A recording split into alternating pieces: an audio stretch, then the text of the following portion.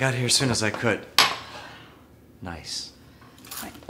Where do you think you're going? I need a break. What does that mean? It means you're watching her.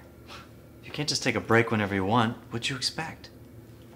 Tom, you have any idea what I've been through today? Okay, she, she's she's a potty mouth. She screams. What do you think Lily's going through? I got a ticket by a bike cop, okay? a bicycle, yeah, a bike cop. He said that she was unbuckled, and I know that I buckled her. Wait, they can give tickets? Apparently.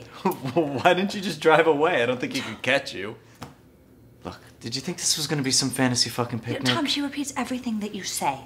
Okay? No, I don't know what I thought it was gonna be. Nikki, wondering where you were? Loved your entry. Kind of an Anne Sexton meets Queen Latifah. Thanks. I'm Emily Hellings, this way. We thought the rehearsal would be an excellent chance for the writers to get a taste of what Sunday will be like. right. See, I wanted to talk to you about that. Um, I don't think I can do it. I don't understand. See, me and crowds, we don't really mix. There isn't a single writer I know, and I know almost all the great ones who don't have butterflies in their stomach before they read their work. right. See, these are more like hornets. It's gonna be fine. Come on. Center. Adjust to your opponent.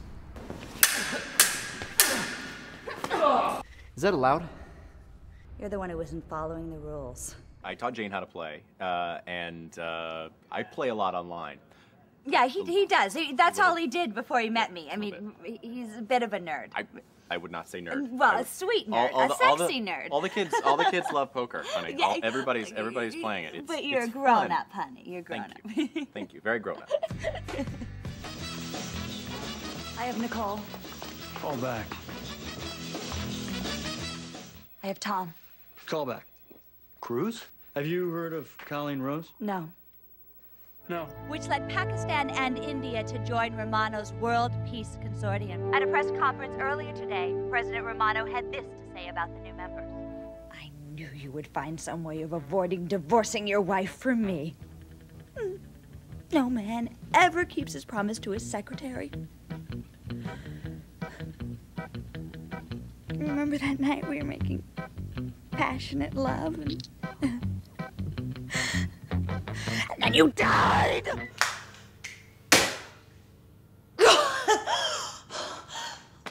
Lily. Why do you hate me? Stop that! Lily! Liz, Lily, you are making a mess. You are going to clean up this whole mess, young lady. Lily! Stop it! You are going to clean this up. You Didn't make the mess. You made the mess, and you need to listen to me. You are going to behave in this house. Do you understand me? You are going to behave. Ow! It was a happy family. I just wanted a happy family. This is what I get. You can't force it. I am going to force it. I am forcing her right back to the hell that she came from. She is not going anywhere. Well, I can't live like this anymore. Then leave. I'm not leaving my house. Then stay and deal with it. But Lily is not going anywhere.